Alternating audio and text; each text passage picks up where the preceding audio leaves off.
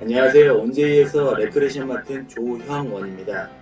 온라인에서 함께 할 수 있는 간단하면서도 재밌는 놀이를 준비했습니다. 일곱 번째 놀이는 challenge 시리즈 3탄 탁구공 계란판 challenge입니다.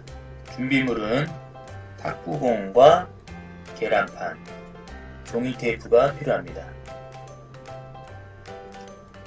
순서는 먼저 테이프로 선을 만듭니다. 그리고 계란판을 2m 정도 거리에 둡니다. 정해진 시간 내에 탁구공을 튕겨서 계란판에 많이 넣으면 챌린지 성공입니다.